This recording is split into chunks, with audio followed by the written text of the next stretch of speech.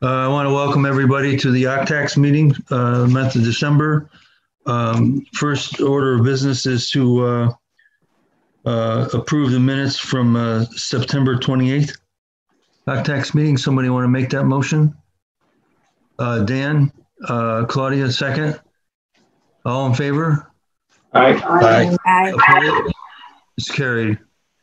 Um, I don't know about your agenda. I have two items on my agenda. The, the first one is a, um, a request from, uh, some of the business people uh, in the Lake George region who are attempting to put together a winter, uh, program. Uh, and representing them here today is, uh, Christian Dutcher. So I'm going to turn it over to him and let you walk through the application. Now, I assume you all got copies. It was sent out uh, yesterday afternoon. So you should have either gotten it yesterday or this morning. Uh, so, Christian, you want to give us a rundown where you are and what you guys want to do? Sure. Good morning, everybody. Uh, a group of local business owners um, in the Lake George region um, approached me, having recognized the, the, the significant hit they're going to take by the cancellation of the Winter Carnival. And they were hoping to be able to put together some sort of program for the month of February to help recoup some of the, uh, the pending losses that they face. And the group spans a number of different types of businesses and business owners. Um, and in short order, we've put together a program that we feel is a solid program that will definitely help stimulate heads and beds uh, throughout the month of February. It's a program that um, creates a number of incentives for people to come from outside the region. And when they arrive, the benefits that they uh, enjoy aren't just within the town or the village, but it's actually region wide. Um, it's an assortment of benefits ranging from hotel discounts, special restaurant programs and discounts, including a restaurant crawl, um, a number of activities that they would get in choice of uh, that would be included in a package that they buy. I can go into greater detail, just of giving an overview. Um, those things would include perhaps a, a downhill skiing ticket, um, uh, tubing nearby, uh, uh, choice of a helicopter ride if they wanted, dog sledding, um, cross-country skiing, all sorts, all sorts of winter-related activities um, that they can choose from uh, based upon availability and their level of interest. Um, and it would also feature uh, horse-drawn carriages throughout the village um, every Saturday in the month of February, and that would be uh, free and available to them if they are uh, one of the if they have purchased into the package. Um, the package would be sold at a significant discount for the first 500 people every weekend, and it would be $50 afterwards. It'd be a $10 package. It's really, frankly, worth quite a bit more than 50 bucks. Uh, but it would be only $10 for the first 500 and $50 for the uh, uh, everyone after 500 for each for each weekend. And that's it in a nutshell. Great. And actually, I should, if I may, I'll, I'll, go one step further.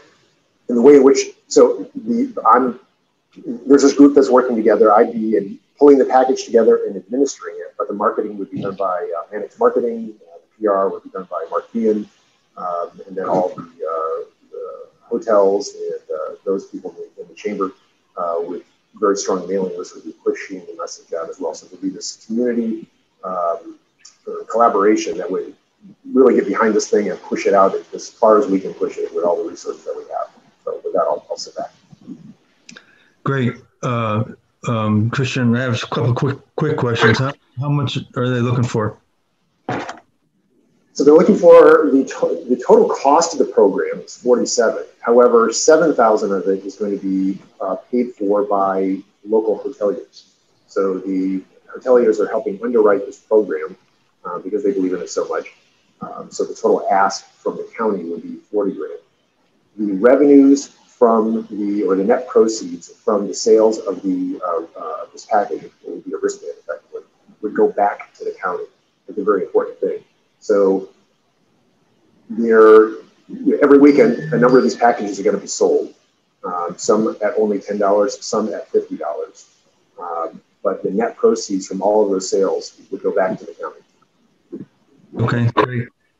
Uh, anybody have any questions for Christian? Well, Uh, I-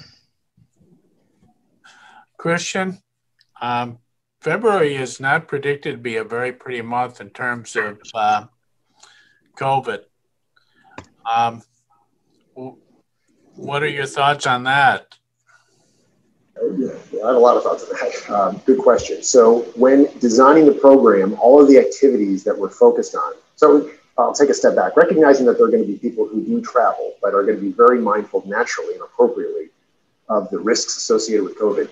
We wanted to make sure that all of the program elements, at the very basic, uh, at the very foundation, adhered obviously to the COVID requirements, but more importantly, going one step beyond that, making sure that they are uh, suited for uh, social distancing. For example, uh, things like, I'm not go one by one through these activities, but skiing or cross country skiing or snowshoeing or tubing, um, even the helicopter rides. These things are um, uh, not group endeavors. They're all individual parties, uh, a couple or a family uh, engaging in that activity. Um, same with the horse carriage rides. The carriages would naturally have to only carry one um, one family unit um, at a time. We try to steer clear of those events that would gather um, crowds of people. Um, uh, and, and, then the restaurant program, actually, the restaurants would administer uh, according to the COVID restrictions that are in place at that time. They have, uh, they have, correct me if I'm wrong, Dr. Christian, uh, they have been talking to uh, to uh, Ryan Moore about the uh, COVID requirements. Yeah, it's it's worth it. I don't know if it's worth for me to say this, but we've all been living and breathing this now for almost a year, um, and me uh, running events, especially Americade, it's always on the forefront of my mind. And um, you know, I, I canceled Americade because it's not the right, not the right fit for 2020. Um, and when I look at this program that we're looking at for Lake George, uh, the Lake George region, region so long as the, the, these basic elements are deemed safe, downhill skiing, tubing, um, riding in a carriage, so long as that type of thing is still considered to be safe, then this program, at least in my opinion, is sound.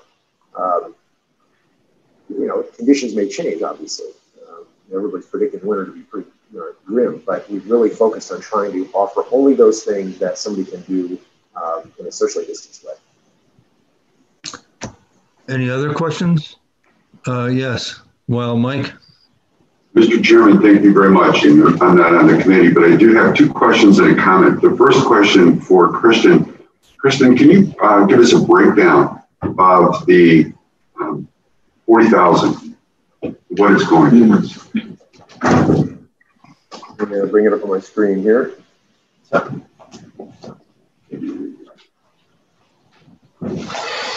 So, the you, uh, there should be a budget that was delivered. Um, the what I have right here is you want to? Well, I apologize. I may, I may have missed that. Um, Mike, I'm happy to walk through it though, if you like helpful for all the supervisors to understand. Yeah. Why, why, why don't you just walk through it quickly, uh, Christian? Yeah. So let me just, I'm trying to get it all squeezed onto my screen at once while I'm talking on Zoom here. Give me one second. So the horse-drawn carriages, we want to have ample carriages so that people there, so that there aren't uh, lawn, uh, so that there aren't blinds.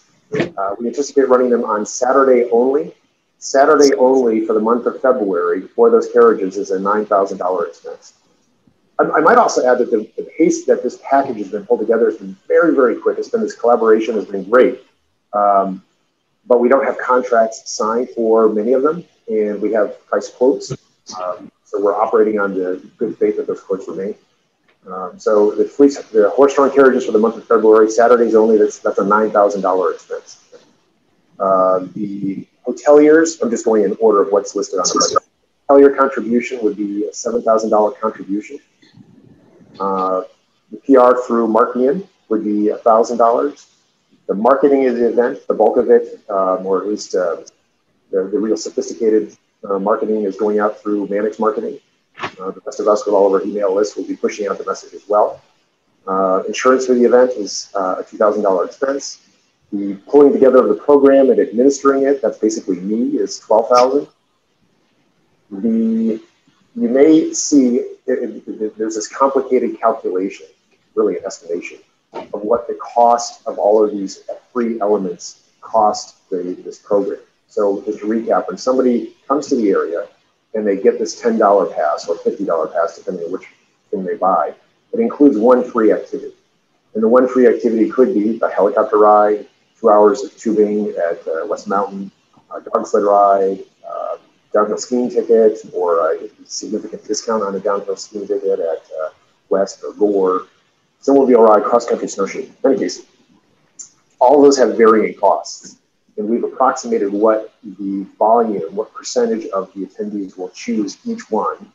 And we've uh, prorated the cost of each of those and arrived at a cost that says when somebody arrives in town, the average cost of one of those, of one of those activities that they're going to take, taking into consideration all the different pricing, is 38 bucks. So 38 bucks um, is the cost per head of this person coming to the region for that for an activity, regardless of whatever activity they choose. The average one. So when, when all is said and done, when you calculate that out, it's a forty-seven thousand dollar uh, expense. You let you reduce it by seven thousand, the contribution by the hoteliers, and that's how we arrive at the forty thousand. So, Mr. Chair, if I may. Yes, go ahead, Mike. Um, so, Christian, now, now I understand that basically it's 20,000 plus or thereabouts that the county is fronting the money for these discounted freebies. That's, is that correct? Is that the correct way to look at that?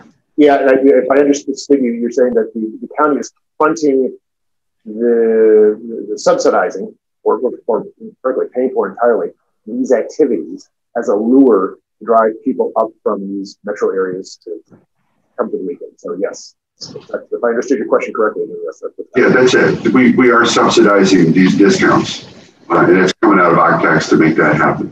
Um, right. And um, my second question, Mr. Chairman, if you don't mind, um, I'm curious what our typical winter carnival take is on OCTAX. And I know sales tax is hard to get a handle on, but do we have any breakdown of what the OCTAX is we typically receive in the month of February? Uh, sure. Uh, Mike, is, is Mike Swan in the peanut gallery? Like I got that. Yes, I am. But uh, I guess Ryan is just. Uh, I, I, have the cash flow projections from the tour of the treasurer's office right here. So um, okay. let me go back. And, go ahead, Ryan. Okay. Uh, February uh, 2018, the actual was 65,581. And February 2019, uh, the actual was uh, 95,142. And just for clarity, that's OCTAX receipts. Yeah, yeah, that's that's that's the county's portion of, uh, of OCTAX. Excellent. Okay. And thank you, Mr. Chairman. If you don't mind, just the other comment, I'm fully in favor of this. It's something new. It's something that we might be able to apply in future years in addition to the Winter Carnival. So thank you very much for the opportunity. Great. Thank you. Dennis, I, this is Lisa. I'd like to make a comment. Uh, I don't know who that is, but go ahead. it's Lisa Grant.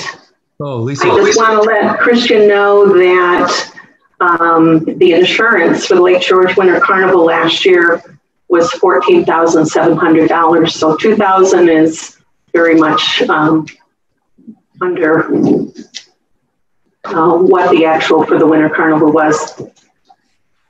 Uh, that, yeah, I, am not surprised that they had a considerable insurance program. There's there, there, are a number of activities that are higher risk. They have racing events going on, and also um, a number of their events uh, are sending people out onto the lake. Uh, whereas everything that's here, the individual operators are carrying their own insurance, meeting the county requirements, and the vast majority of them are um, how do I want to say this, are the lower risk uh, in sending people out on the way. Good. But point well taken, Lisa. I appreciate that. Uh, Supervisor Hogan? Thank you, Mr. Chairman. Uh, dovetailing on that on that thought, is Mary in the boardroom? Kissane? No. I'm I'm just curious if we're subsidizing, is the county taking on liability here, and and will the county have the coverage necessary if if we're subsidizing this? No, you don't think so? Uh, I don't. I don't think so. It's OCTAC. I don't think the, the county is, but uh, we'll certainly run it by Mary. Um, okay. Make sure that's I'm correct. Thank you. And I, I have a second question. Okay. Um, where's this going to come from? The forty thousand. That's forty thousand from OCTAX. We're going to discuss that in a minute. Okay. Uh, okay. Thanks. Good. It's a good question. I have uh, Rachel. Are you online there someplace? Boardroom, Mr. Chairman. Okay. Thank you. I'm sorry. I know it's hard to see the whole boardroom from doing these with Zoom, uh, but if you, you don't mind, I'd like to ask a question. No, go ahead. Thank you. Uh, morning, Christian. Hi, Rachel. I'm, I'm glad to see you, and I appreciate the time that not only you've spent talking with me, but many of the community members and business owners in our community regarding possible changes to the OCTAX application. So now that you've gone through this application process, I'm looking forward to following back up and seeing what, what comments and suggestions you have with that. Uh, but really, I was so impressed during our conversation about how uh, that regional approach happens that I believe if anything could happen with my next suggestion that you know it's the group you guys have all assembled between your economic and your tourism avenues with that partnership with government government that would make it work. I, my specific question looks more at a regional approach and i love that this is a new event and that we're looking at a covid you know safe and um, i hate to say the words covid friendly but as a covid safe event i assume um, that paperwork and that safety plan prior to approval or, or shortly thereafter, we get a follow up from our county administrator regarding that plan. Um, but is there a way to stretch this so that if you know you have an event or some type of a walkthrough or an attraction on a calendar of events going on during those weekends from Glens Falls all the way up to North Creek to Thurman to all different types of you know each town and city in our county that would fully capitalize on, on that regional Adirondack approach, not removing anything that you have here, but maybe working with those partners um, through that process. Because to me, that regional ability to, you know, connect the dots and and it, it very well, so many of you have donated and and cut down your costs, but I can imagine in each one of our communities what a wonderful option we'd be able to have to tie all that together. Um, you know, I think I think it looks incredible. We see a lot of these escape packages in other states, particularly I think Vermont does a really good job with it.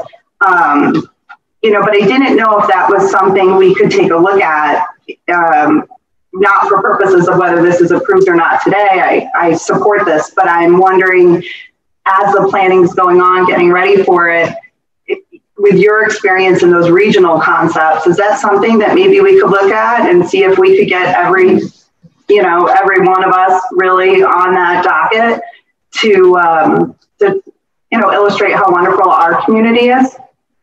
Absolutely. I, I, when delving into this, I mean, this, this thought shouldn't have been new to me, but it really, uh, it, one thing that I was struck by is how the breadth of things that are available and offered in a winter environment based in, in and around the Lake George region. I hate to say the Lake George region because that seems too centralized, but this program could draw avid skiers. Gore is only 35 minutes out of town. West Mountain is right around the corner. There are these adventure-seeking elements. There are these non-adventure-seeking elements.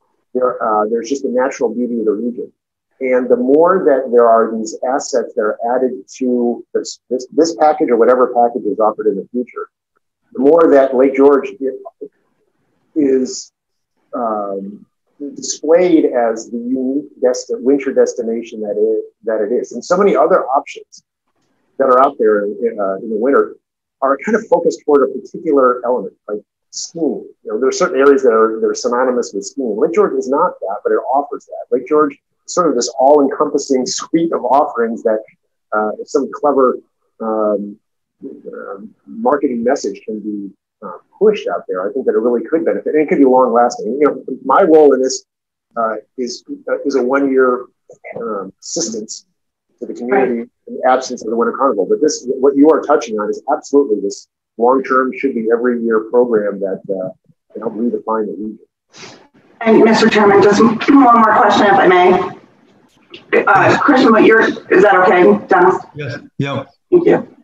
Um, you know, one of the, the things that you're touching on, Christian, I think even perhaps that's something we could do in the short term with this and working with those leaders in those communities, um, and then obviously expand upon it. But one, and with a Sarah Mannix, I see her name's on this. I know, you know, she can uh, take that, that, I think she's all things social media. It amazes me how many people she can reach with Warren County. But um, the one thing that you and I have talked about in the past is that quantitative and qualitative analysis at the end. We talked about surveys and being able to bring in whether it be an intern or different members of the chamber, whoever it might be. But I wonder if, you know, throughout these events, if there is a way to do what we've talked about before and have that informal survey happening on just a few questions. You've had success with that in the past, and it might be a nice metric to really talk about how people heard about it while they're here and how do we get them back and do they feel good about it? Do they feel safe?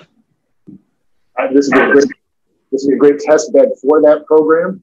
It, it, it, the, the, this, you know, this package, this concept is driven by these the package sales, the sales of a particular package. So that is also an important metric. In other words, there will be people naturally drawn to the region because of this marketing message that goes out. The, where the rubber meets the road is how many people buy into this package and spend the night. And so that that that important piece of data, uh, I hope I'm not putting my foot in it, but I, I believe the community would be happy to share that. I'm quite confident they'd be happy to share that. So there's a very important metric that we, through this program, can share that, that demonstrates its success or not. And then additionally, what you're talking about, that that uh, sort of that broad survey with, with, people on the street to see what caused them to come to the region, I, I, I fully support that. And we certainly could roll that out for this. That would be great. I look forward to hearing how that goes as well, and um, you know, hearing back after this is all said and done and what worked and what didn't. Thank you. Thank you, Thank you Rachel. Uh, Claudia, did you want to jump in there? Thanks, Chairman. Yeah, I have two comments. One, I think this is a really cool idea. I wish we had come up with this prior to COVID, but maybe it is something that we can do down the road. But it does make me um, have the sense that maybe this is something like a, a regional winter tourism program that we should be um, even bidding out in the future, getting finding out what we as a county um, tourism department can get as our as the best bang for our buck and and paid for it because the idea of the the net profits um, we I've not ever heard us talk about that before. So that's kind of a little bit strange to me. Um, but I do think that we should be trying to do something in the short term. Although I have to say I am very concerned about us um, luring people here right now because February is still going to be COVID concerning and I know um, Christian is saying that the uh, individual events will be COVID safe, but you still have these people coming to our communities. And from where? Where are we? You know, is he saying we're marketing to the Metro New York area? They they're still having a very hard time with COVID, and I I want us to be very careful about bringing those people here. I think we did a great job over the summer managing it, but um, and I guess my third concern is where are we going to get this money? Because I don't think we have that much left in events funding. Um, but yeah, going forward, if we're going to have a robust winter tourism package um, and the county really be uh, funding that, we should look at trying to do some sort of regional thing like Supervisor Seeber said. And okay, one more comment. What what is the county tourism department doing for our winter tourism? Is this going to how is this going to work with what they're already doing? Uh, I, I don't know specifically, but I'm sure that Joanne's been pl- plugged in here along the way, and uh, uh, this is certainly something she could tout. Uh, and I agree with all of you. This this is really a great idea, and hopefully, this is just the beginning of it. That we'll figure out who who should be doing this and how, and and uh, especially if it's successful. So, um, uh, Christian, would you like to respond to that? Yeah, I just want to say a couple of things. I absolutely think this program could be uh, rolled out in future years, perhaps internally by the county. Uh, I'm not trying to talk myself out of a gig here, but um, if, if, it's if it's successful, and and I and I suspect that there are going to be a lot of other partners, other venues, other activities that would like to contribute. The community can really get behind this in a very big way and push. It doesn't. Uh, I don't want to. The, the, the, duration of the program um, can be tailored. You know, you can have these two weekends in February. You could have the whole month of February. You could extend it to six weekends. But in any case, it's this really strong suite of offerings. Um, and it becomes programmatic. That's easily rolled out every year. Absolutely, the community, uh, the uh, county, or, or entities within the county, for the bureau, uh, might be able to take that on. And the other is regarding the risk of COVID. There are going to be quantities uh, sold of this package, and those quantities can be limited. You know, we could dial that back if there was uh, sentiment or science or the necessary restrictions to only sell certain numbers of these packages um, and adjust those as we go along, we could do that, which is kind of a nice thing. It's not just this open-ended thing. We can sell X number of packages on this. We can reduce that or increase that uh, as the conditions on the ground uh, require. Thank you, Christian. Any anybody else, John? Oh, I'm sorry, man. I have Ryan Moore, Supervisor Merlino, and Supervisor Shepler would like to speak. Okay, thank you.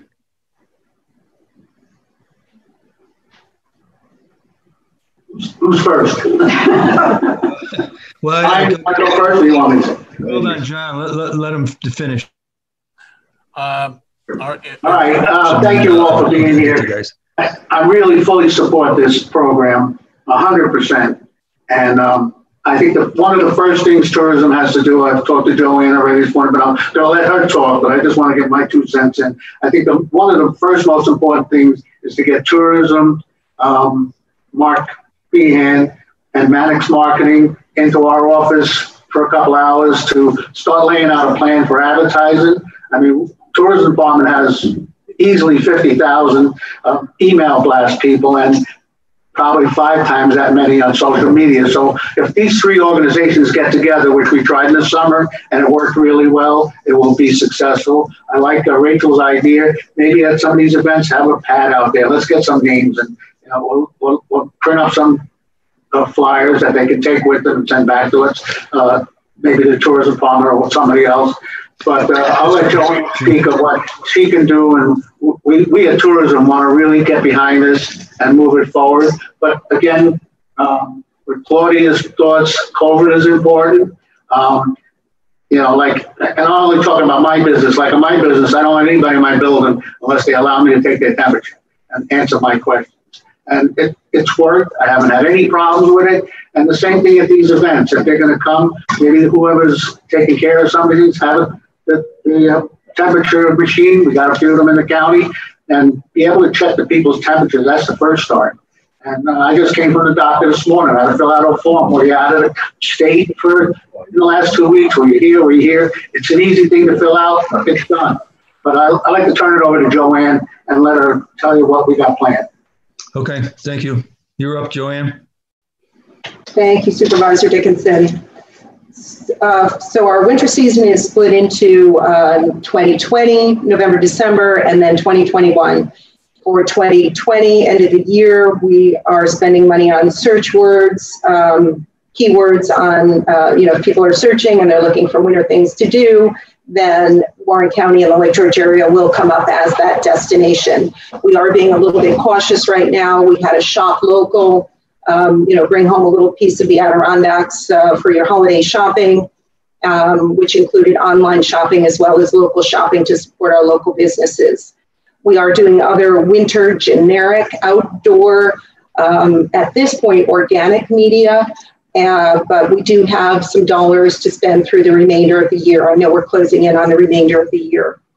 Um, and into the new year. So it would be approximately $50,000 um, first part of the season and another 50 the second part of the season. Some of that is through workshop and some of that is out of our department. Excellent. Thank you. Um, so for the second part of the season, we have a winter video that um, our partners at Working Pictures are producing, and we will continue to do social media. We have worked with the Chamber and with Mannix Marketing before on the email blasts and with social media, so we could continue to do that as well. Well, thank you. It's an aggressive program. Um, John, you had something earlier. Why don't you jump jump in there before we? All right, all right. thank you, Mr. Chair. Uh, Christian, I, am just trying to get a handle on this. So I'm from New York City. I see an advertisement that Mannix put out and somehow got to me. And they're offering some kind of a package. And what's how much is the package going to cost me? And I see it's the ultimate Adirondack escape, and I get one I get a free horse-drawn carriage ride, and then I get a choice of some of the other things. It could be a helicopter ride or or tube ride, or one of the others. How much is that package going to cost me? So you pay if you're one of the first 500, you'll pay ten dollars for that wristband. That wristband gives you all these discounts in the hotel. I mean, these discounts in the hotels are going to likely exist anyway, but you know, lots of discounts at uh, uh, restaurants.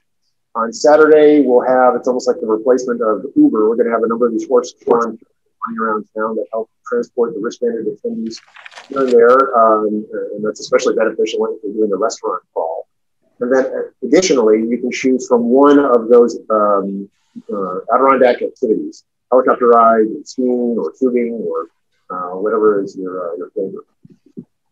So for ten dollars, I get a ride uh, on a horse-drawn carriage and a choice of one of the other things that you have listed there. So it's not just the um, it's not just a ride.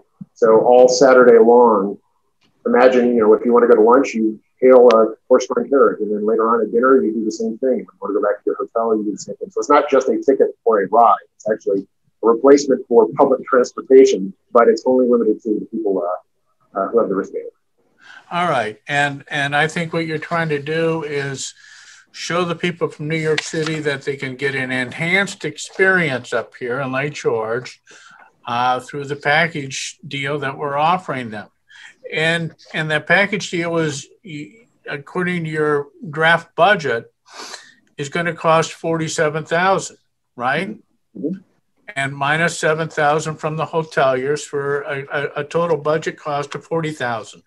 I'm reading your budget and, and I'm, I'm just, I'm just trying to get how, where is the bottom line for 47,000? Where's the total costs and the total, where's the total? I don't see it on the budget.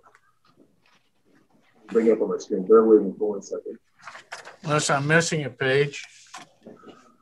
So it is a, it's the totals of uh, horse-drawn carriage, the PR, the marketing expenses, the insurance, the event management, and then it is 500.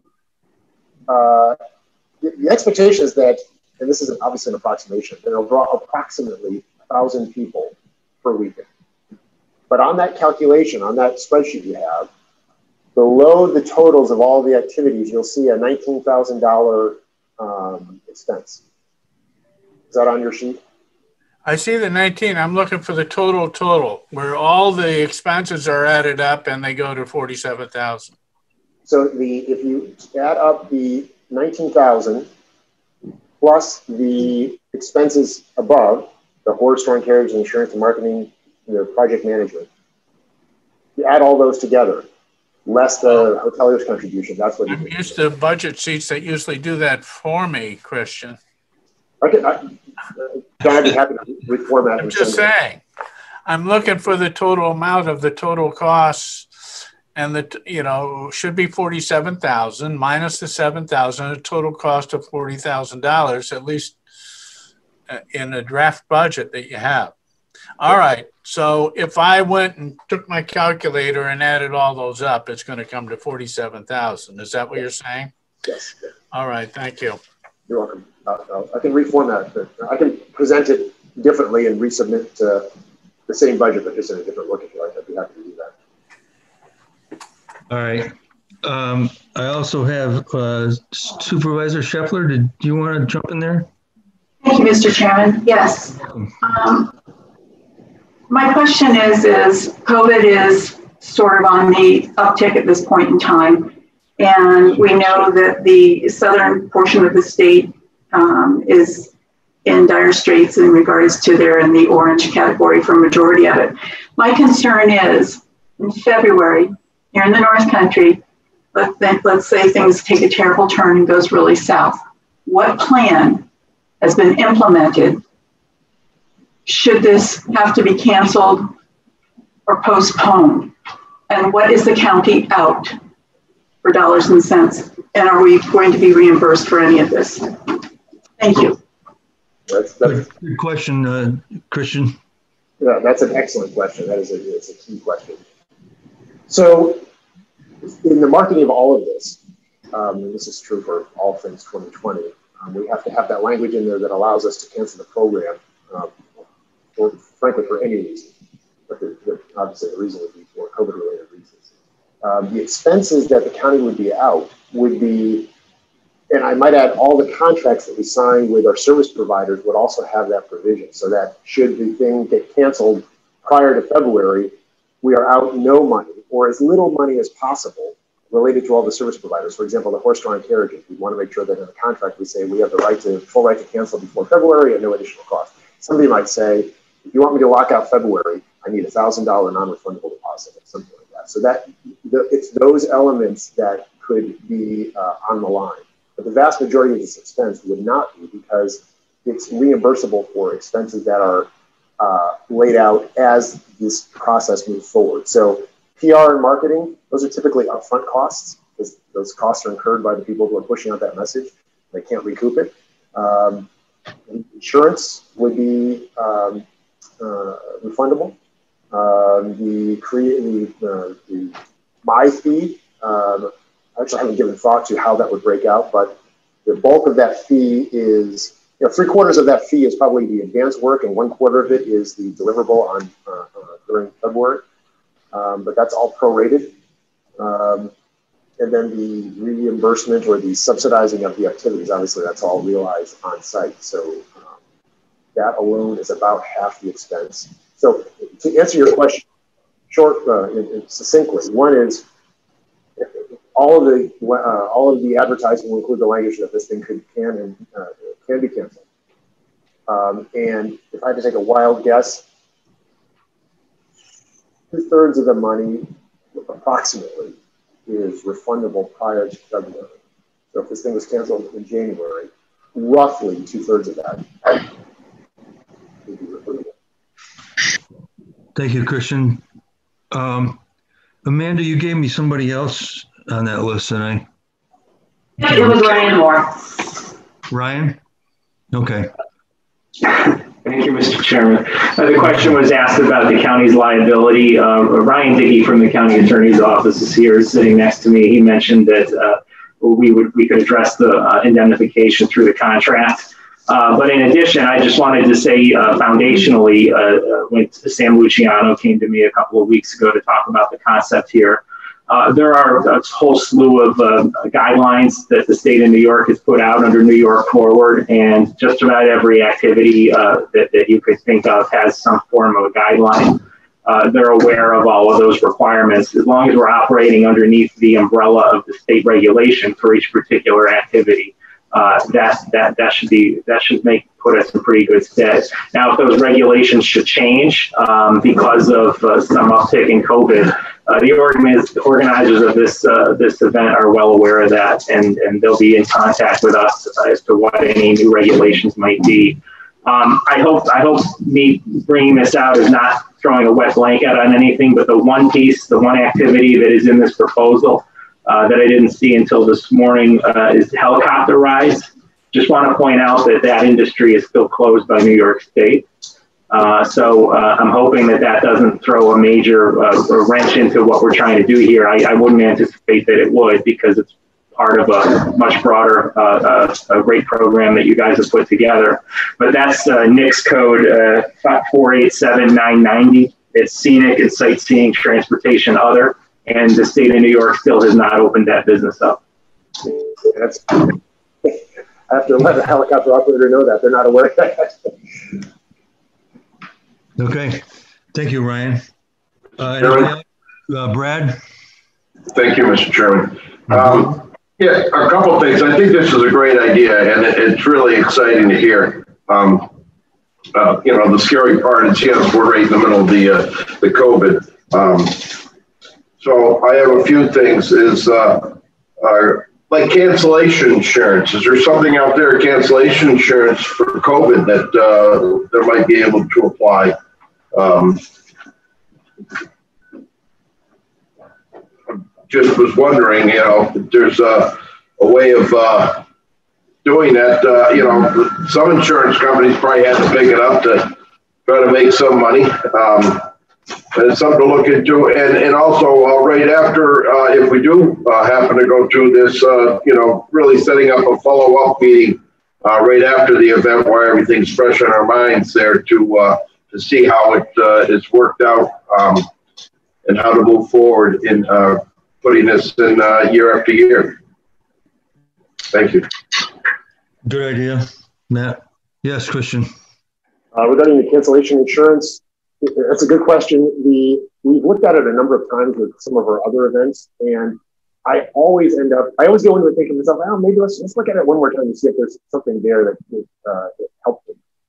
And every time I go through it, they are so specific. I'll give you an example with Americade. The way in which they would ask questions would be, "Okay, if canceled between 12 o'clock and 12:15 due to um, rain, then they want to, so they, they're very specific on the timing. It's not just a day, it's the actual time of the day. And then they want to know with great specificity, what are the thresholds that you would have to exceed? For example, um, you know, is it, it, does it exceed an inch of rain? So you, you're getting into this crazy detail that I always think I can't do it, and it's also expensive. Um, uh, but it's worth looking at. COVID's obviously a different animal, and I haven't looked at insulation insurance related to COVID. Um, so I will look at that. It's worth, worth me looking at it. But every time I've looked at it in the past, I wanted to pull my hair out, but I can't do it. It's just too specific. Candy Great, thank you, Christian. Uh, Rachel, did you have something else? I did. Thank you, Mr. Chairman. I think, you know, the question that Supervisor Shepler brought up is um, is one that obviously is on all of our minds, but to look at that a little bit further, and I think that Brad Brad brought up a really interesting point. When travelers decide to buy packages, they can purchase cancellation insurance. And now the state offers, for the first time ever in New York State, individual traveler insurance. So if travelers are coming here and they're buying a vacation package with an overnight stay, um, they're eligible to purchase through Allianz, through Travel Insured, through a multitude of different insurance companies, a cancellation policy it may not cover up to 100% for that individual traveler. And maybe this is something Ryan Moore could check out in his control room calls because it has been a push in the travel industry in years. New York State is the only tra- state that does not allow for 100% cancel for any reason travel insurance. But if your travelers, many other countries require travelers to buy travel insurance and show proof of that. Um, because then if they do have to cancel, and it's my understanding they are making some exceptions now with COVID, they would be eligible to have that returned to them. So the county and the, the those sponsoring agencies would not be on the hook for the money or at least you know a very large percentage of it depending on what if any changes have taken place in new york um, if we're asking people who purchase these packages to buy a travel policy so that could seriously mitigate the number of dollars that everyone is out in the event that the uptick gets worse. Uh, but that, you know, not looking at the county insurance aspect, but the individual traveler aspect. And I think, Sue, that's a really um, good question and one that maybe we could take it a little further just from the traveler perspective as well, which would protect us as a municipality. Great. Thank you, Rachel. Maybe we need a little bit of advertising about the availability of the insurance. Yeah, I was I, I was looking at only through this narrow lens of an event manage, manager. So that Brad, your question is, is, is a good one. I hadn't thought of it from the traveler side, and that's that's much uh, more doable. Any, anybody else have any questions for for Christian? Yes, Supervisor Hogan. Thank you, Chairman. Um, I, you know, I'm I'm always in support of a regional initiative, and these are really great ideas. Um, as as the supervisor from the town of Johnsburg, I, I can tell you that we've already been thinking about that we're going to need help should restaurants go to 25% in accommodating the people that are going to come here to ski anyway. So, you know, I'm, I'm happy to hear that our neighbors to the south are looking at ways to ensure that the restaurants and the, and the and everybody stays open. Um, having worked with this group somewhat over the summer, I know uh, that we can have a fair level of confidence in their um, their and, and and their assurance that they're going to do things the right way because they have been all along and and we did great this summer and in part because this group of particular people have worked so hard to get the right message out there um, but my question for you is you know we are stronger as a region um, but we also need to be safer as a region and will the organizers of this event take responsibility for making sure that every one of these vendors has filed their safety plans as required by New York State? Um, and in addition, who's who's going to take responsibility for noncompliance in in these among the participants? So, may, may I, Dennis? Yes, please do. So if, I'm glad you asked the question. I was thinking about this a moment ago when uh, Ryan was uh, sharing with me the, the, the realities of the helicopter, operation. And I was thinking to myself, I wonder how many of these operators are simply unaware of what restrictions. I mean, to us, it's, it's self-evident that you have to be aware of what restrictions are applied, applied to these days under COVID. But I wonder uh, for some of the smaller operators, certainly bigger operators, that are aware, the ski mount is well aware, and on top of it. But for some of these smaller operations, I think it would be incumbent upon the upon me to work with Ryan make sure that I have the specific codes that apply to that industry, and then share with the operator what they must do. And then when they become a provider of an activity for this package, um, that they that they sign something that says they are adhering to all of the, the mandates, all the guidelines uh, that connects the dots that they, they're aware of what is required and that they are uh, binding themselves to uh, adhering to those those guidelines. So that's certainly something that we can do. Yeah. Okay, and what about the the enforcement aspect of it? Who's who's going to take responsibility for, you know, if if somebody's not complying with the rules, who's going to take responsibility for that? Yes, you know, I think that that's a question of Ryan. It's not Ryan. I don't think it's our responsibility to try to speak to that. I don't know. Okay, thank you. Um, Claudia, did do you have a question? Yeah, thanks, Dennis. Yes, I, I do. If, I don't know if you can hear me with my. Um, I switched to my computer. Anyway, I, you know, Christian said that there's 7,000 coming from the hoteliers. What about other the other organizations involved? Are any of them contributing money from the program? And I, I'd like to know, like, is West, how are they on board? What about Gore? I mean, I don't know if they can even contribute as a state entity, but helicopter guys, the, the sledding, the snowmobilers, are they on board? And so, are they contributing money? Yeah, good question. They, the, the pace of this program, a lot has been pulled together in a very short order, but not everything's been pulled together.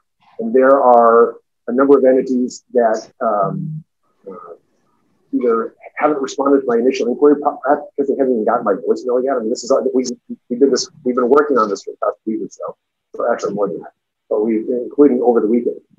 Uh, so not all the service providers are have had an opportunity to even respond and express interest. We expect that they will, and we're likely going to add some additional attractions to this list um, uh, as they become uh, as they become interesting. Um, but yeah, I'm saying this because not everybody who is a contributing partner, whether financially or otherwise, uh, has, uh, has signed on to it. Uh, the overwhelming response is yes, let's do it. The hoteliers themselves, who is contributing the the, uh, the, the, the seven thousand dollars, the final list hasn't been established. There are a number of parties who have already said, "Yep, we got it," and they'll probably cover all of it if necessary. But my guess is that those hoteliers are going to be calling some other fellow hoteliers to help lessen the individual burden um, while still meeting that $7,000 requirement. So that's kind of an indirect way of me saying that the list is still being pulled together, um, but the major players in the village are, are on board with it. Thank you. Anybody else? A question? Somebody spoke up there. That was uh, Ben. Dennis Ben. One quick, quick Oh, question. Ben. before Ben. go ahead. Go ahead. Ben, Thanks, Ben Ben. Well, that brings up another thing. that Christian, like you said, people in the village are on board, but we also have a pretty vibrant downtown right now. I mean, we could be doing comparatively to to we could be doing horse-drawn carriages in the city of Glens Falls. Something to think. Yeah, and, and, and it's this is not. It's really important for me to emphasize this. This is not a Lake George centric program, or at least it's not intended to be. It originated from some business owners in Lake George Village, but it's the, the scope of it is well outside the village, and the more that it is regional.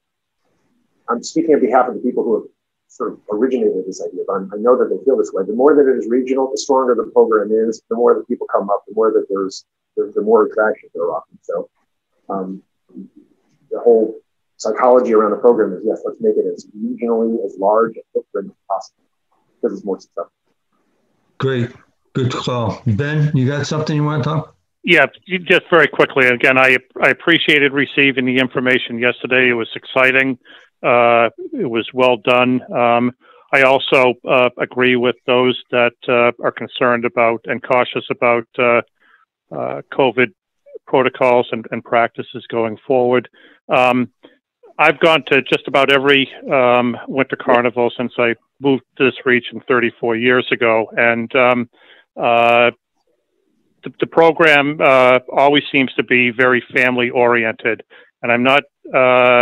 I think the fifty dollars is a very reasonable uh, fee for um, what uh, families can could get. But uh, this past summer, we also did very well with um, with day trippers, and I I want to um, uh, make sure that um, that we're putting our best foot forward to individuals who may not want to buy into the um, uh, to the package, um, that they'll still feel uh, that they essentially got their money's worth if they go to restaurants and and shopping and those types of things. I just wanted if uh, Christian could speak a little bit to uh, to the basically the day trippers who are coming in for the again for the day to uh, uh, to celebrate and have a good time. So the uh, that's I, when I when I think about I'm a very visual person and I think about what does it look like if somebody who comes into the village during any period of time, let's say the month of February. Is it exciting? Was it worth your trip up here? And while there are clearly advantages to having and participating in the program, Lake George Village is going to be, especially with this program, vibrant um, de- destination. So, is it worth it for them? I'm sure that there are going to be lots of hotel deals that are already out there that are outside of this program and restaurant deals that are going on outside of the program. And but the, the, what I've been tasked to do is focus on benefiting just those people who are working within this program. Um, so, okay.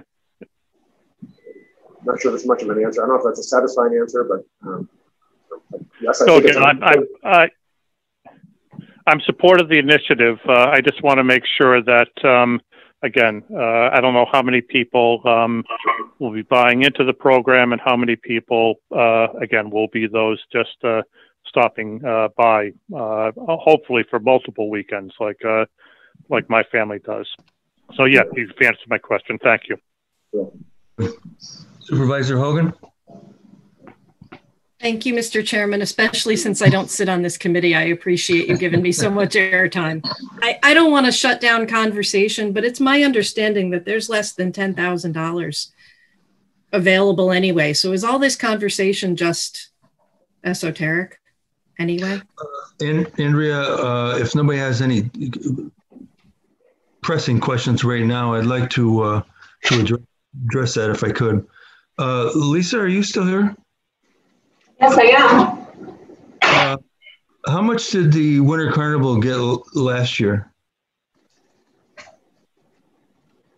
Um, earlier this year, they were awarded 35,000.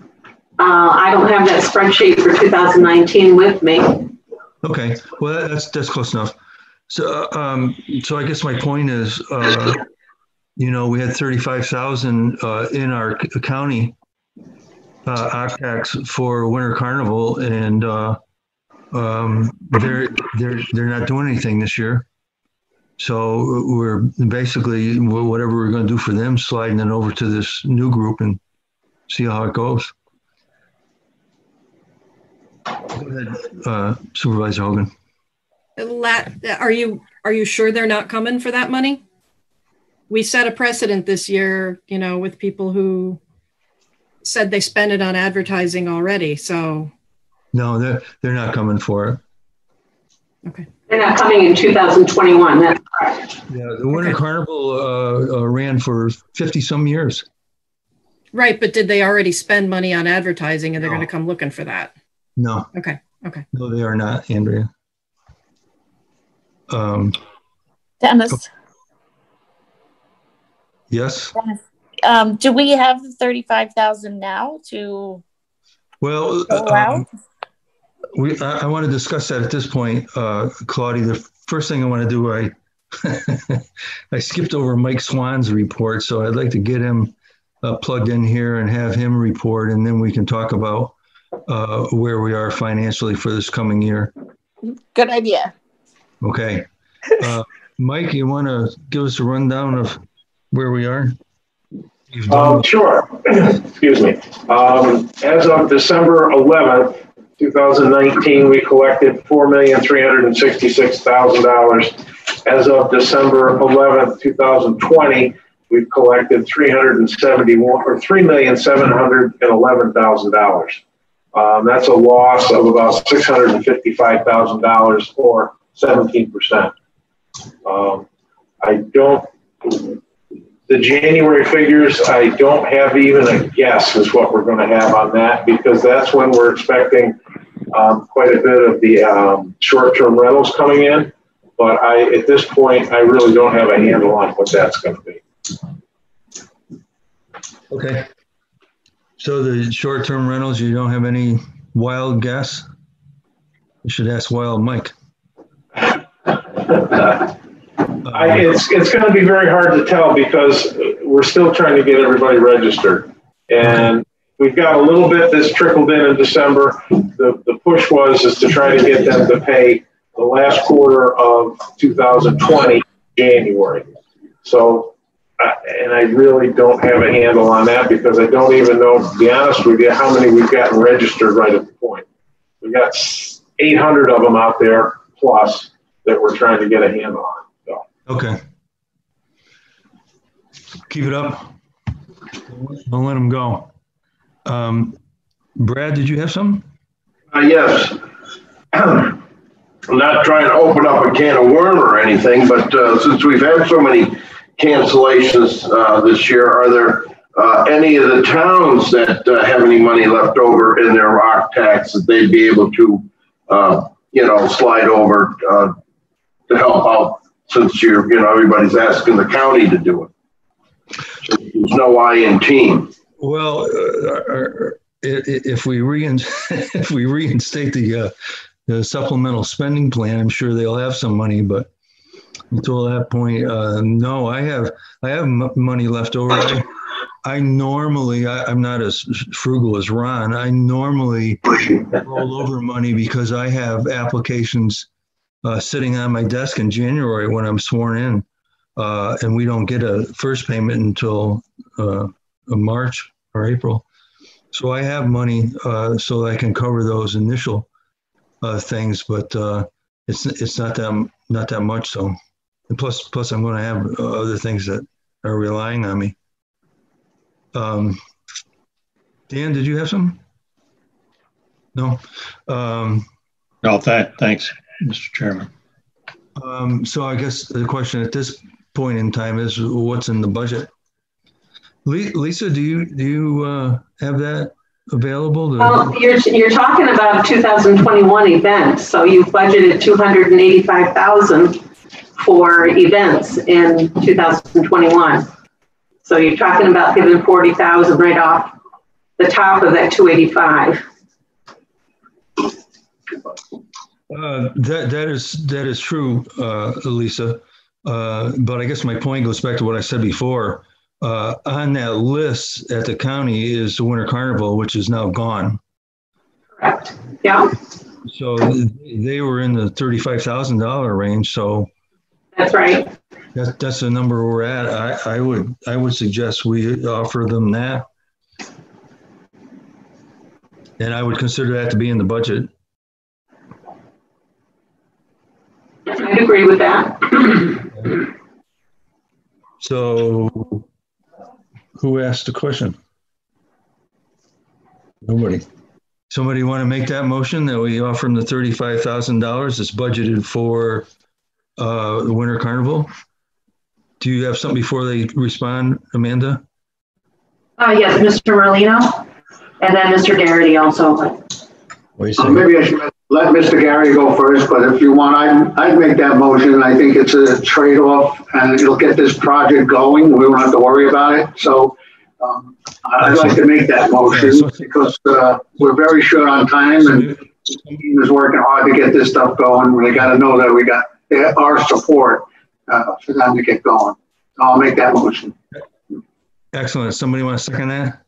I will second it. Supervisor Garrity. Supervisor Garrity? Yeah. Uh, excellent. Uh, discussion. Did you have something, Kevin? Yes, I, I wanted to make note that uh, in this case here, I think this will become a regional event awful quickly. A lot of the items they had on their plan could be run in numerous communities at the same time you ran them in uh, Lake George. So I think it's a regional event. Um, that being said, we also have a million dollars in our fund balance, which we keep. If we tapped even uh, $10,000 out of the fund balance of occ tax, we're going to be okay. And, and then I want to go through a spending plan after we get this for uh, 2021. Okay. So, so I'll second it. I think it's a good good move. Excellent. I just want to know what dollar amount you want. Well, we, we've offered them the 35 that we had for the uh, okay for Winter Carnival. Okay, I'm good with that. Whatever you think is appropriate. Keep it in the budget. Um, okay, we have a motion. We have a second. Anybody have anything further? Amanda, Mr. Chairman, Mike Wild. No, Mike, Amanda had her hand up. I'm sorry, we have Ms. Seeber and Mr. Wild here who have questions. Okay. I'll for Mr. Wild. He had his hand up before. um, there's a, a, couple of things that I wanted to respond to. Uh, and, and I think it starts with the discussion that Supervisor Hogan brought up about compliance and enforcement. Um, we all need to think back about this spring um, when the business community jumped in and helped come up with the safety pledge and all the, the mask enforcement type of, of uh, signage and advertising and be safe and Lake George is safe. The reason why we were as successful as we were is because the business community bought into that. They realized that they could win by doing just that. And I have faith in the business community and the group that Mark Behan has put together that, that actually spun this to help with compliance um, I, am not sure about enforcement, but uh, we didn't have huge enforcement issues in the summer in Lake George or in our surrounding communities per se. So I'm pretty comfortable with that. And as for the money, I've got a question for Christian.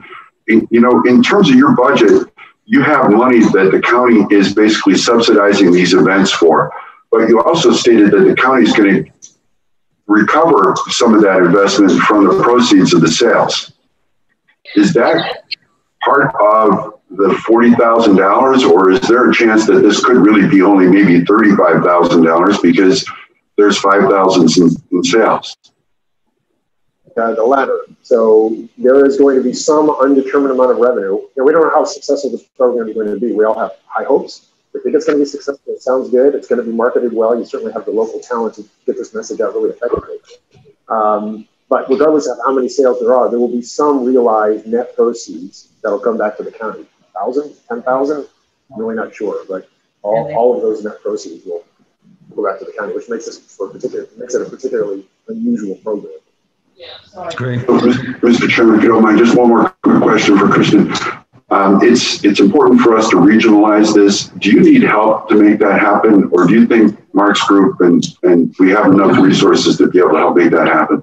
I think we can always use more help. You know, I'm not going to uh, stroke people too much here, but Mark is great. Uh, the Mannix marketing is great. Uh, your local business owners and Joanne and the chamber, everybody's fantastic. Really, I'm really impressed. Um, but it's it, the timeline of this is so ridiculously tight. I mean, it should have been done.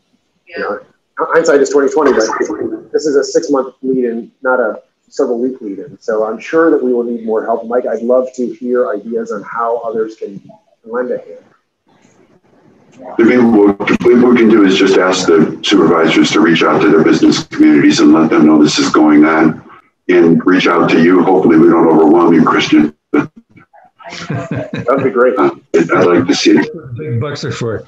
Thank you, Mr. Chairman. Anybody else? You said somebody else there. That was me, Mr. Chairman, Rachel. Rachel. I, I think Supervisor, Supervisor, oh, I can't even say Mike's name. Sorry, Mike. Um, Supervisor Wild's point is well taken, but it's also um, you know, to be able to have that additional safety reach and that in, enforcement that um, Supervisor Hogan is talking about. I also think that, you know, re- reality of that is there is a cost factor to it too. I mean, we can look at county assistance, you can look at, you know, working with all the towns, but there's still there's still additional dollars. Um, one of the things I guess I'd like to see is if we use the metrics that we have in our scoring application right now, it hasn't been modified. They've asked for 40,000. They would qualify for 40,000.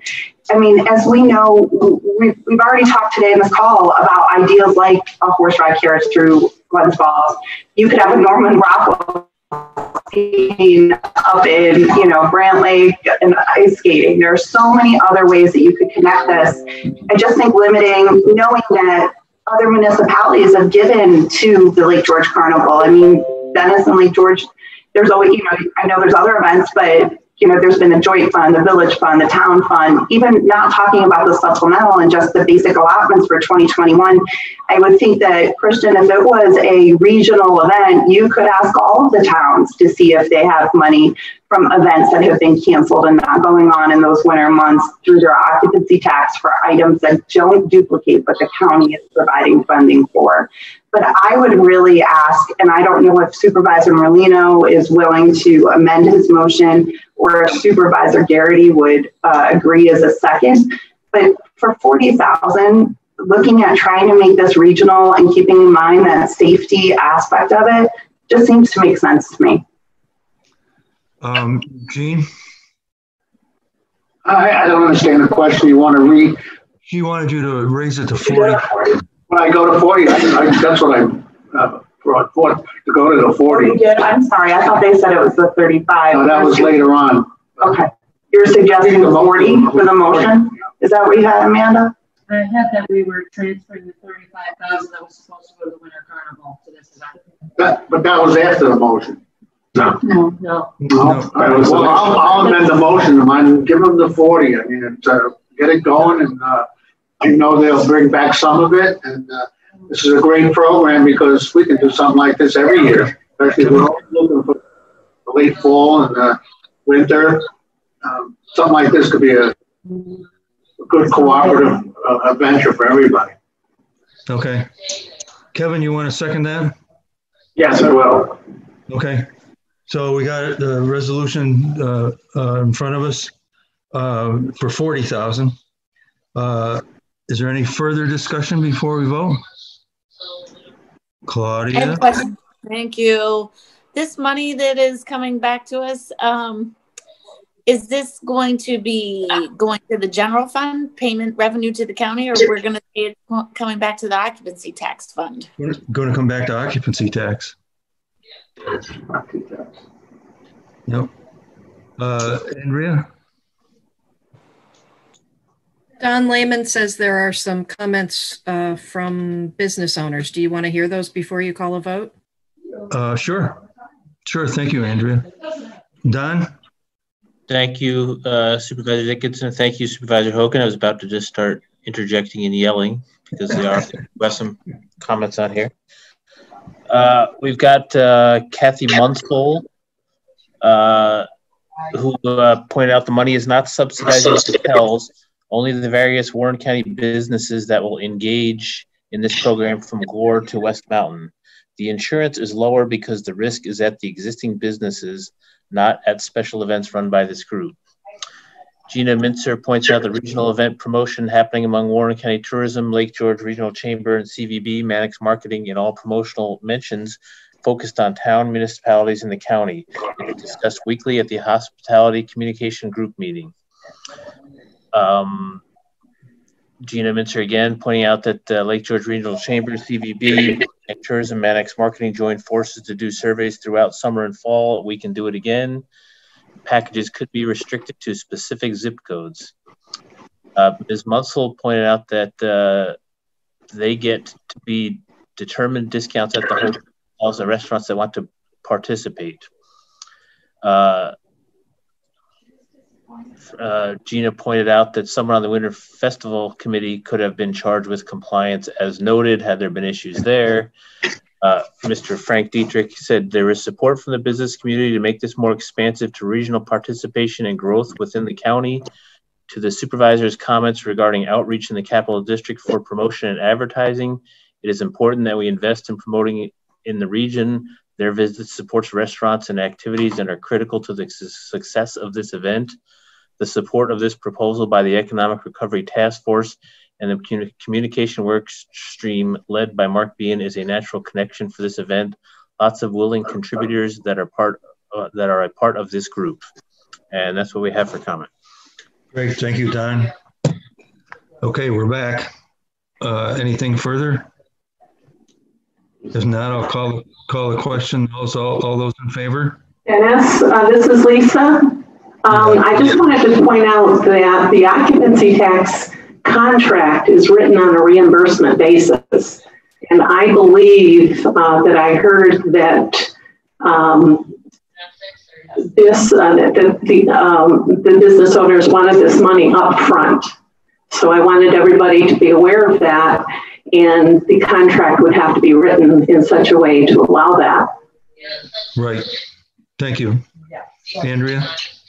Yeah, so those are the I'm sorry, I was trying to unmute. I've asked this before and I'll ask it again. Are we allowed to do that? I thought we were only allowed to pay for services that we have received and goods and I, I never really got an answer when I asked before. It's a standard contract with the occupancy tax. Most, most people But this is this is being changed. They want it up front rather than reimbursed. No, no, most of them get it up front to advertise before the. Chairman, this is Chairman, this is Ryan Dickey from the County Attorney's Office. You guys speak in Speak into the mic. Can everybody hear me? Yeah, just. I just wanted to, the standard, the standard contracts passed by resolution, so if the board wishes to amend the contract to include upfront payments, they can do that. However, you may lose out on the force majeure provision because it indicates that we are liable for fifty percent of all costs expended if the event is canceled. So if the event is canceled and we're upfronting the money, we're still liable for fifty percent of what we allocated. So if we're in a re- re- reimbursement provision, we're only allowed to, hold on one second. We're only going to be liable for 50% of the reimbursement amount that we've received in receipts and not the amount of money that we gave up front. That makes sense. Thank you very much. Uh, Andrea, to, to finish my comment, uh, that was the problem we had with the COVID is that the money we put out to those events was used to advertise pre-event.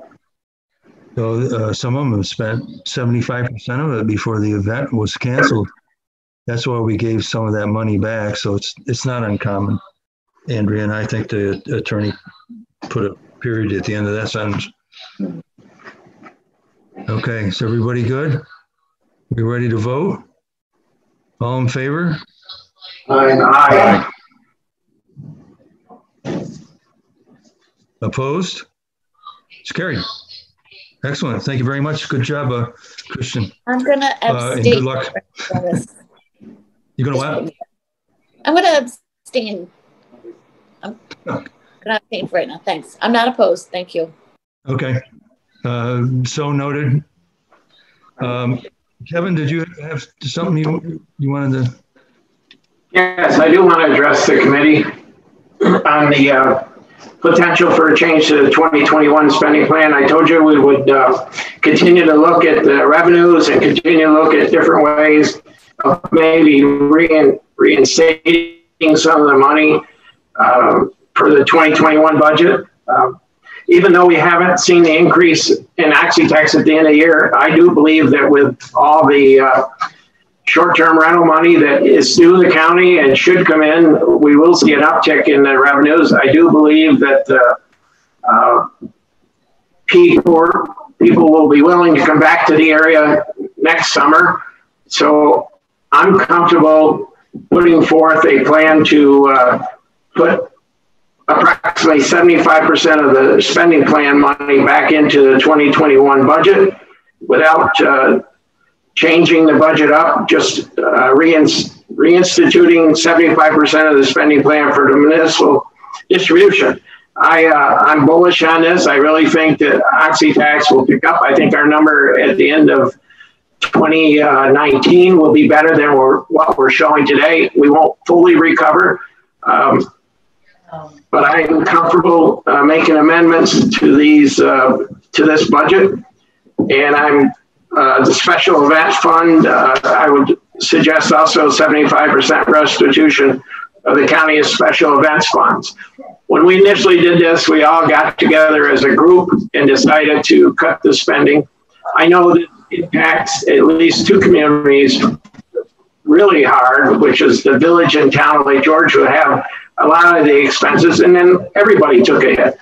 So going through this and making a few changes in the tourism budget going forward, perhaps not uh, filling the position right away in tourism, we would save some money to be able to institute some funding back to the towns. So that's what I'm proposing today. Uh, we have a sheet, uh, I believe, that we can hand out to the uh, rest of the committee that shows some of these things. Nobody's funding, like the shuttle won't get cut, Hague Fire Tower won't get cut. The, the chamber and the CVB and the Civic Center funding, which was reduced anyways, will still be reduced. And then uh, invasive species money will be back. It, uh, it's full 125,000 and Wood Park website would be uh, included for 5,000. So I, I'm going to ask Ryan to chime in on this. I this is still a work in progress, but I think it's a fair compromise, which I told the committee members I would continue to work on, and we continue to look at this. Uh, the item brought up today is is a real good regional event. Um, so uh, that's what I'm proposing that we uh, put forth as far as the tourism budget goes. Right? You want to address a couple of those? Sure, I, I, I, would agree that uh, based the treasurer's report today, uh, we have three seven. Um, you look at uh, the, I, I guess uh, I, I shouldn't just make the statement, but we should. Uh, uh, I'm looking at the cash flow uh, reports. If we assume that we get another three hundred thousand dollars before the end of the year, uh, we'll, we'll make four four million. Is that where you thought we would end up, Kevin? Yes, I, I still think there's money out there for short-term rentals. It could be as much as 200. It may be a little bit less this year, but if we start collecting the way we should, and I do know that some of short-term rentals have been paying into uh, the Airbnbs already. Yeah, if you look at last year, the treasurer listed uh, through uh, these numbers today, the three million seven eleven nine hundred five. Uh, that compares last year through December 11th to four million three sixty six 964, and we ended 2019 with uh, 4,864, 332. Uh, so I, was jotting down all these numbers earlier. So from, from this time last year through the end of the year, we did about another half a million dollars. So um, to, to get to that 4 million, another, you know, 300,000 give or take, seems fairly on par with, um, with uh, where we think we'll end up. The cash flow reports, uh, there's, there was a number in for the last cash flow report I looked at had our uh, year-to-date actual through uh, October at three million six twenty-two, and then the November projection was one hundred and forty thousand, and the December projection was uh, two hundred and ninety-four thousand. So that would get you to about four million fifty-six thousand. But we'll, we'll see. I, I, I think four million dollars is a, is a good approximation. And then, as uh, as the budget officer said. Um, uh, and as the treasurer mentioned, we hope to get some Airbnb revenue next year. Uh, from the virus perspective, if we get to critical mass on the vaccine by uh, the, the third quarter, uh, that would, would, I think it's reasonable to expect we can do another year at this year's baseline of $4 million and then have a stronger end of the year next year than we do this year. So um, uh, I don't I don't know that I would go out on a limb and say we'll get to four and a half million, but but we might get more than halfway there from, from the four million to. I would say we'd be probably you know, four four two five, four three, four three five, somewhere in that range. The total back of the envelope right now, uh, and uh, we'll see how the year plays out. Excellent. Thank you, Ryan. Include, Dennis, these numbers include the million dollars in in our uh, surplus fund balance for right. IRC. So I, I this is doable, and I would ask that the committee support this plan. Uh, so Kevin's made a, made a resolution. There's somebody want to second it? Don't I'll make it as a resolution. Excellent. Somebody want to second that resolution? Mr. Merlino says he will second. Okay, great. Thanks, Gene. Kevin, I, I don't understand what's going on. This sounds like the budget committee discussion, it through occupancy tax. I, I, is this just a, a, suggestion or is this something that we're going to do? Because if it's something we're going to do, I, well, still has to go to the budget committee.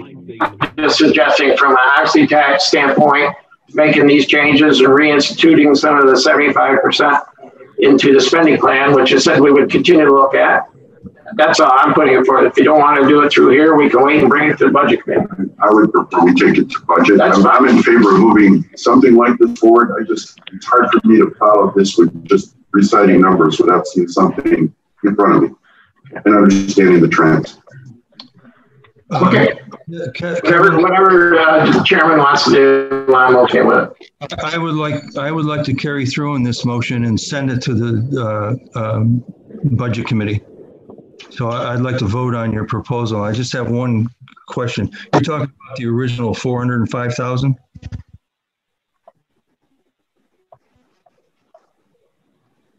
Talking 75% based on the 405,000. So it wouldn't be 405,000. It would equate to around $303,750. That would be for the spending plan. Okay. So we have a motion on the floor. And, uh, have any further discussion? Claudia? Okay, so this isn't this wasn't on the agenda. We still don't know what our tax money is for the through the end of 2020 and we're talking about going backwards. We didn't review anything, we didn't make any changes, we didn't try to come up with a new regional plan.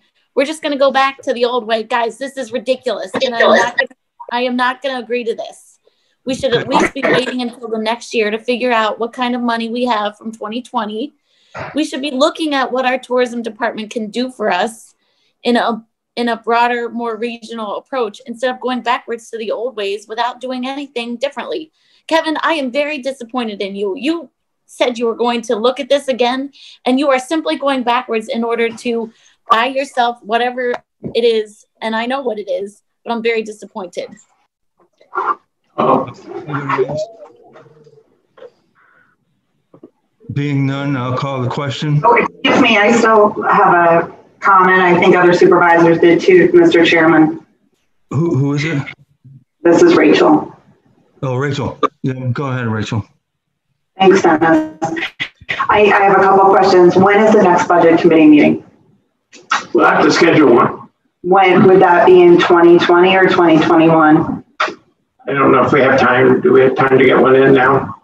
I guess we can do it at any time as long as we meet the criteria for the, uh, you know, legal notice. So what you're suggesting today isn't a matter of um, amending the budget on Friday or? Oh, no, I'm not going to amend. No, this will not amend the 2021 budget. This would just be instituting using fund balance that I projected we're going to get in 2021.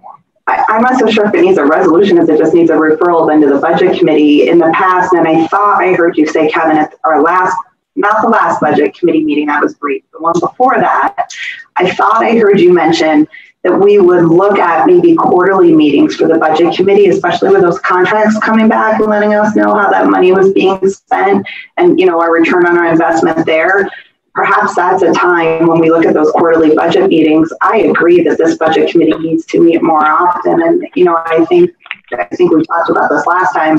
So I, I don't know if there's a way to just have a supervisor, or Wild suggested, have that res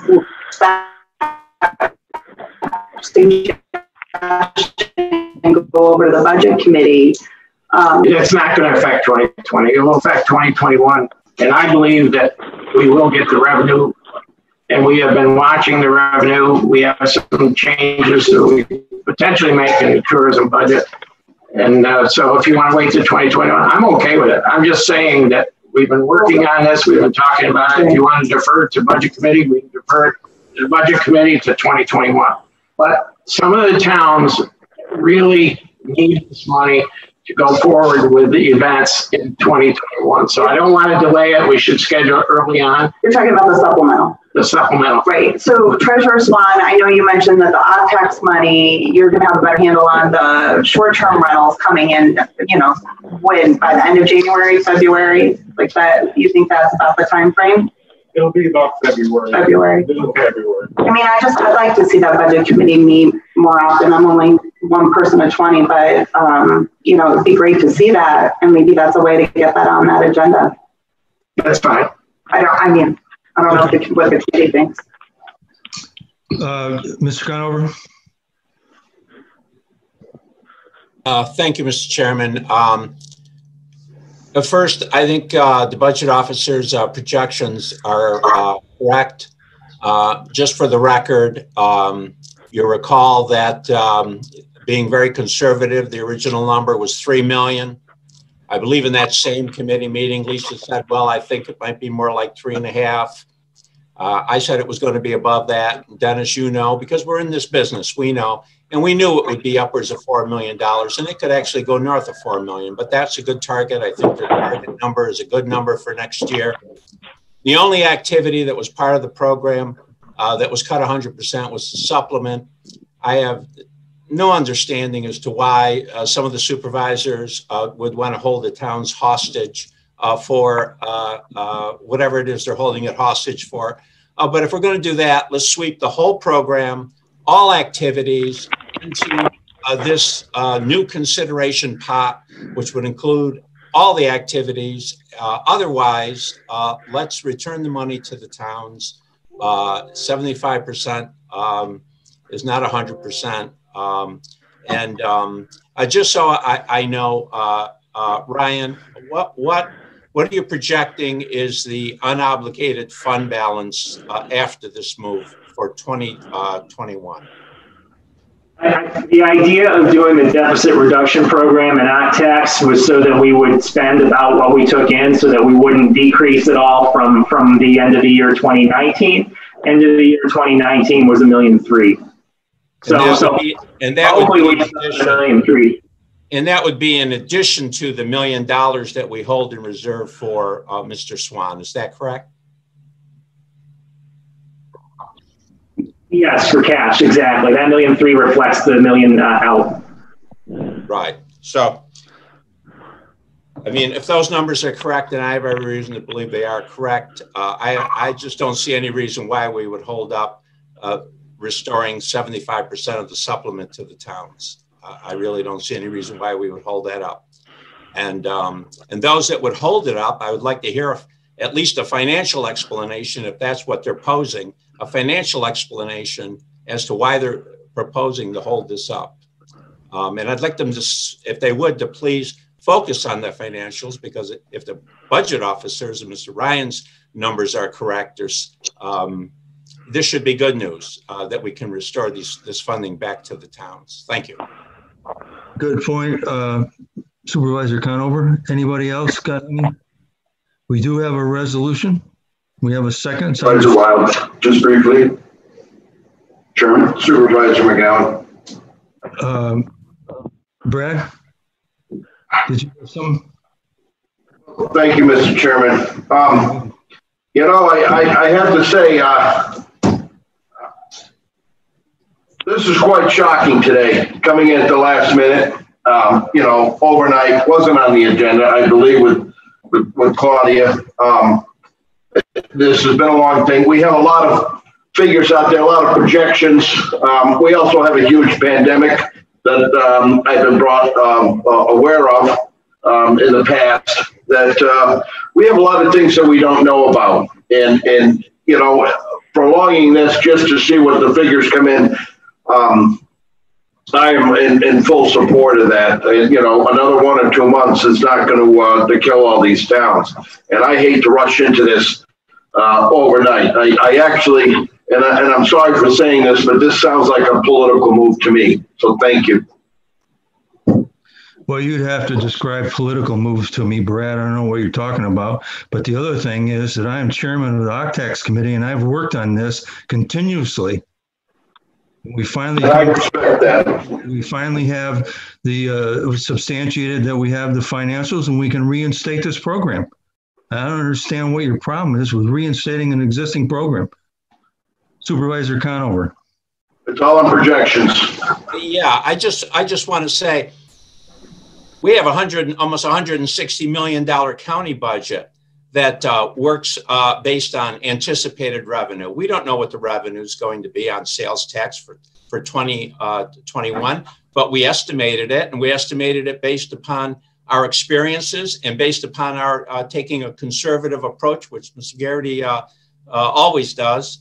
and I could, I could use mortgage tax. I could name any of a number of other revenue streams that come into our county budget based upon projections uh, based upon our experience and based upon our knowledge base and based upon our ability as managers.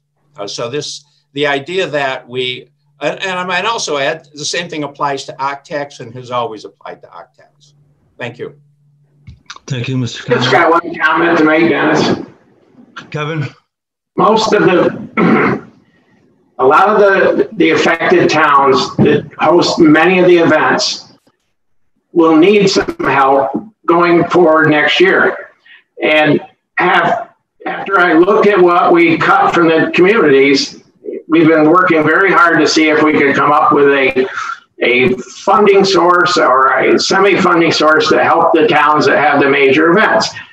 The two, two entities that get affected most is the village of Lake George and the town of Lake George, along with the other communities that get the bigger, larger amounts of sun. It's not a political stunt. You can call it what you want.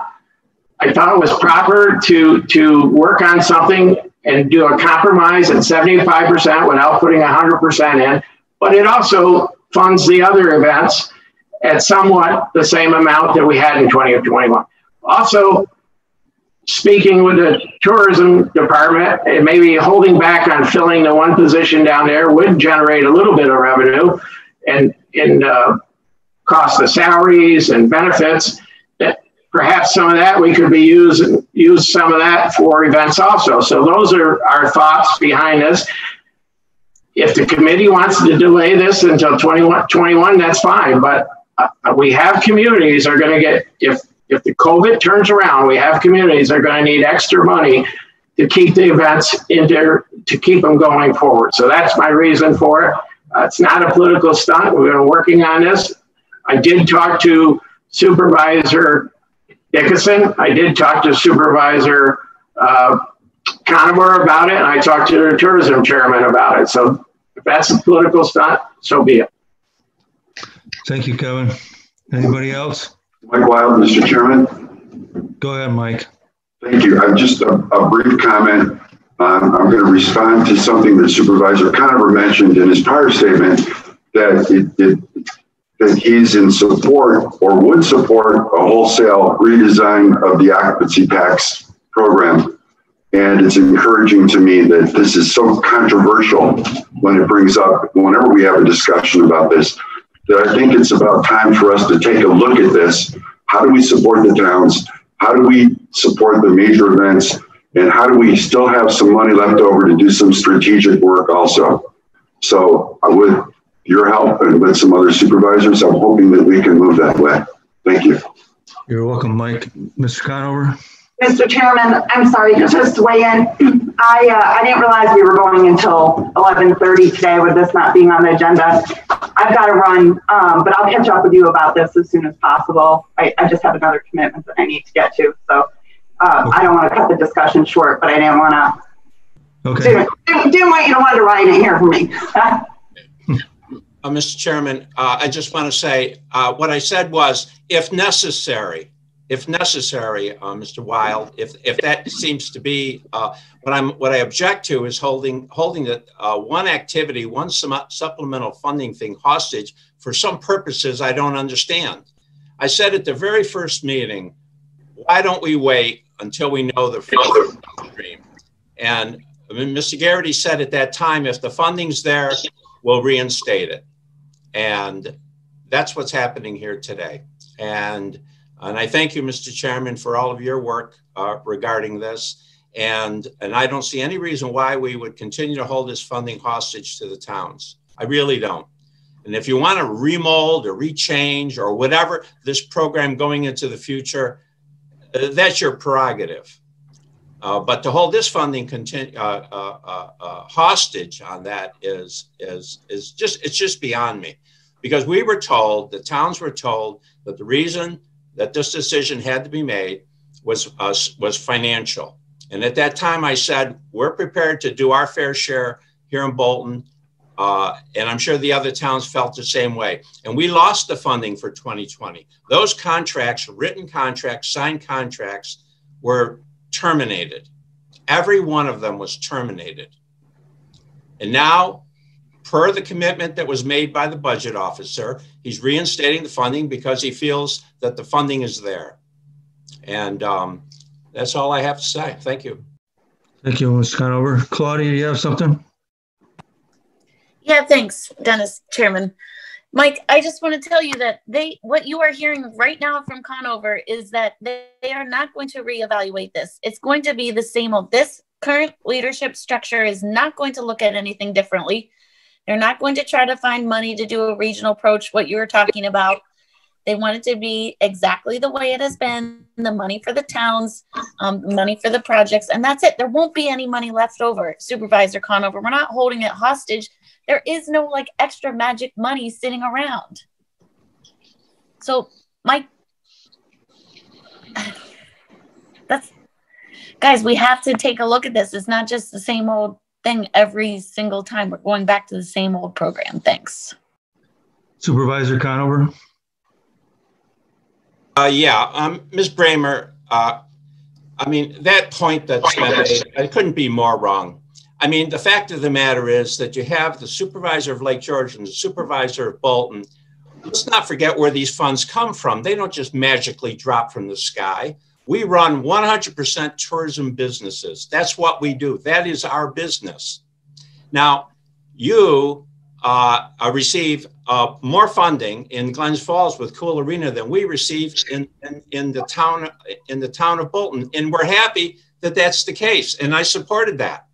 And I supported that. And I supported the capital program as well for Cool Arena. And I might add, I've supported any of, a, any of a number of other activities that have gone on relative to, to the occ tax. The, the town supplement, The town supplement was originally developed as a package to provide funding to Cool Arena, $250,000. You can trace that. I know for a fact that's the case because I helped to put that package together. And that went through the board with 100% funding of the board, unanimous funding of the board at that time. Now, uh, you can talk about the 300. What did that, what did what did, what did uh, uh, the budget officer say? 305 or 310 thousand dollars against what was a 4.8 million dollar program. And so the supervisors should should really ask themselves, what really is the big deal here? We're reinstating the 300 and something thousand dollars against a four and a half million dollar, what was almost a five million dollar program.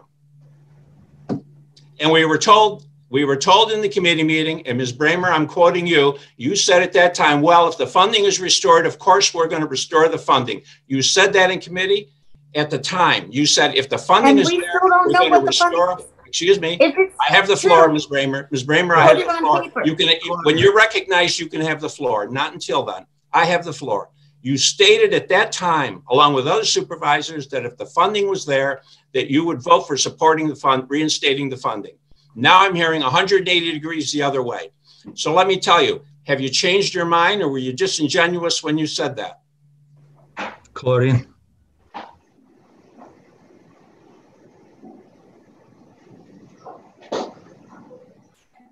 Thanks, Dennis. If that is true, Ron, that we have so much money that we can re we can reinstate the funds, why is it not on paper in front of me, showing me exactly what is happening, what the projections are, and what we have to date in the balance?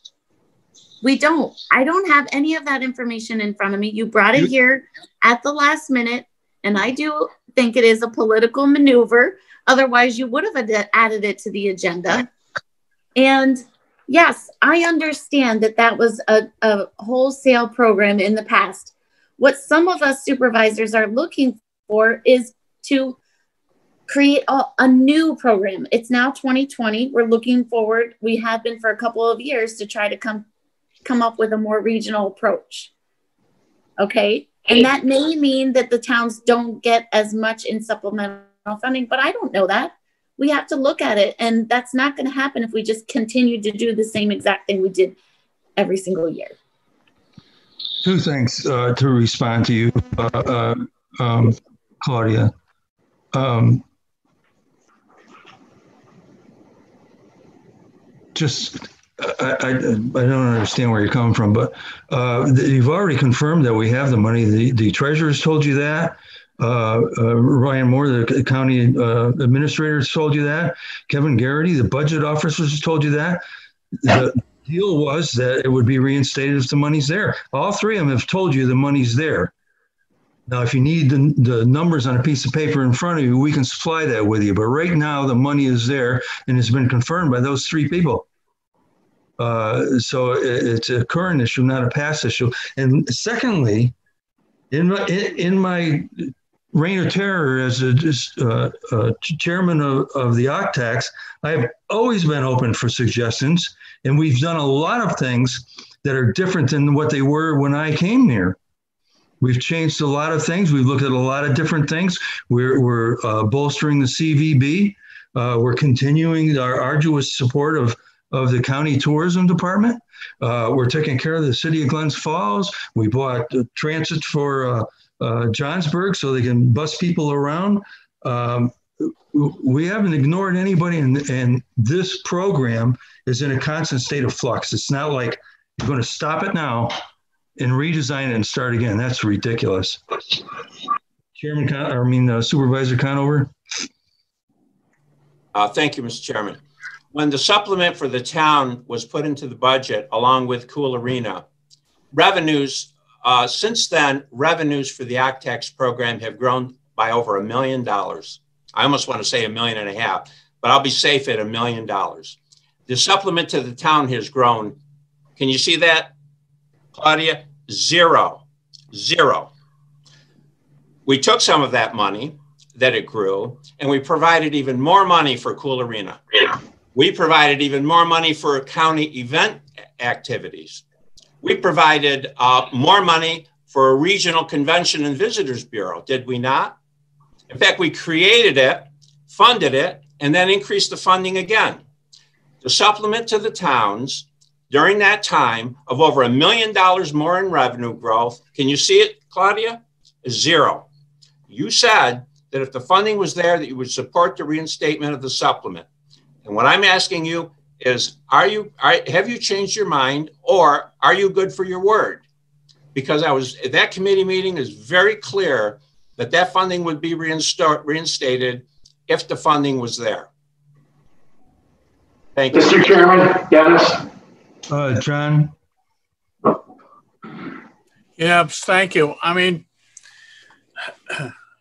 historically, and I've been on this board seven years, historically, we put together a governance and financial structure that has been very successful. You know, working with the tourism department, working with the hoteliers, we have expanded our approach. It has become more regional. I think we can do more. I think the regional approach is the right way. But we currently have a governance and financial structure that's been encouraging all that. We have created a county, if you take a look at us compared to other counties, we're pretty resilient. Our drops are not as dramatic in terms of revenues coming from all tax and sales tax are not as big as some of the others. So when some people are always advocating new and new and new, you know what? New isn't always going to be better. I'm always willing to keep an open ear and to listen. But the bottom line is is that the past you know governance and financial st- structures and strategies have been very successful. Thank you. Thank you, John. Uh, Amanda? Mr. Geraghty would like to speak. Okay, Kevin? There's two points I want to make. You, as chairman, agreed to look at the, the uh, funding application, which we will see sometime in 2021, correct? Correct. So that's already happened.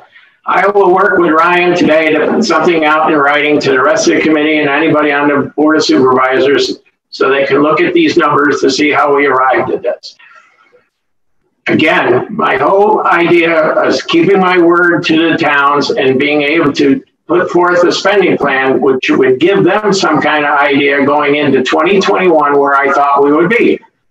Call it what you may, we'll get it out to you, and uh, that's all I'm going to say about it. I'm done talking. Are, are you, uh, your resolution still stand, Kevin, or you? Well, I put it forward, but if they don't want a resolution, they can vote, vote it down. I mean, I, I think this is good, good idea to put forth. And then we'll take it to the budget committee, whoever the budget officer is, is in 2021, they can, uh, they can vet it there, or we can try to do it for the end of the year. I'm okay with anything. I have nothing to hide. It's, okay. put it out. Thank you, Kevin. Uh, we have a resolution on the floor. We have a second. Uh, Mr. Conover? I just want to restate what Ryan advised the, the committee, and that is that the unfunded, unobligated balance is $1.3 million. Let me say that again $1.3 million. That's after, after this after this 1.3 million and that's in addition to the 1 million we reserve for the county treasurer i mean i mean so if if if there are supervisors on the board that have regional ideas or mr wild wants to do some other type of activity or whatever be my guest advance it advance it. It's not like there there isn't money there. 1.3 million unobligated balance. And and and a revenue hopefully a revenue we all hope will return to $5 million so we're in a very solid position right now there's no reason to not reinstate the, the town funding thank you thank you being no further comment um, We'll bring the question to order. All those in favor? Aye. Opposed? Motion I'm going to abstain on this one as well, Chairman. I do appreciate Supervisor Geraghty saying he'll put it on paper. Say whatever you want, but I want to see it on paper. Thank Okay. Amanda, does that pass? Yes. Okay. Anybody have anything else? Please tell me no. Motion to adjourn. Second. I'll second that motion. We are adjourned. All right. Excellent. Thanks, everybody. I appreciate